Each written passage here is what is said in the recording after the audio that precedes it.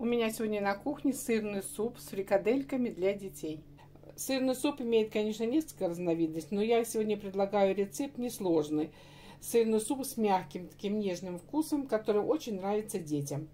Берем только качественный сыр, который растворяется полностью при варке. И именно этот качественный сыр и придаст вкус супа. Приехали гости с Алжира.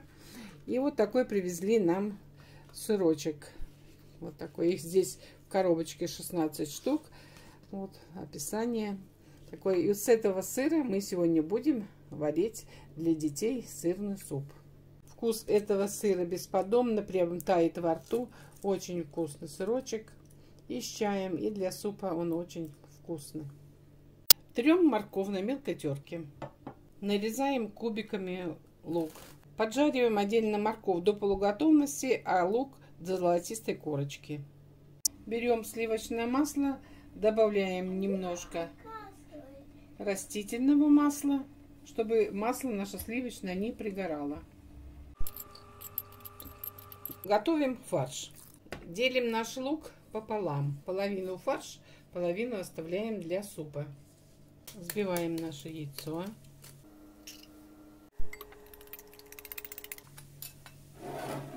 И добавляем наш фарш. Солим. Добавляем перчик. И перемешиваем. Делаем вот такие фрикадельки, ну кому какие нравятся. Большие, маленькие, средние. У меня кастрюля полтора литра. Видите, вода закипает. Выкладываем туда оставшийся лук, который мы поделили пополам. И морковь.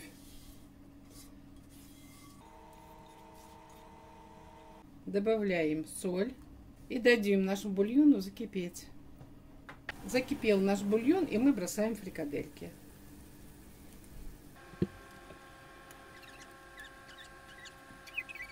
И фрикадельки будут кипеть ровно 10 минут. Наши фрикадельки готовы, потому что они всплыли наверх. И теперь мы бросаем туда две картошины целиком. И варим до готовности картофеля. Картошка проварилась 10 минут, и мы высыпаем ложку вот такой меленькой вермишели. На полтора литра достаточно. Картошка наша сварилась, и мы ее оттуда вытаскиваем.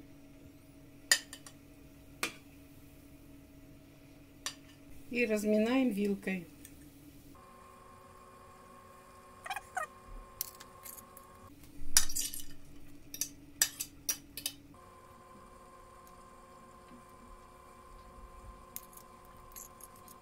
Вот смотрите, в супе картошка даже не ощущается. И ребенок будет есть с удовольствием. Сварился наш суп, добавляем сырок. Нам вот таких вот кубичков достаточно на полтора литра 3-4 штучки. Мы их вот так бросаем. Когда хороший сырок, я даже его буквально бросила, все, он уже вот видите, как моментально растворяется. Это и есть качественный сыр, который мгновенно растворяется вот в бульоне. Даем покипеть буквально 3-4 минуты вместе с сыром. Суп наш готов. Смотрите, какой красивый, насыщенный. Осталось только добавить специи. Это мы добавляем, если у кого есть укроп свежий. У меня есть вот такой сушеный. Вот, добавляем немножечко укропа. Кто как любит и зеленый лучок. Ну, какая у кого есть зелень. Наш суп готов. Прокипит сейчас 1-2 минуты зеленью. Мы его выключаем и подаем на стол. Приготовьте такой супчик. Я думаю, что он вам очень понравится.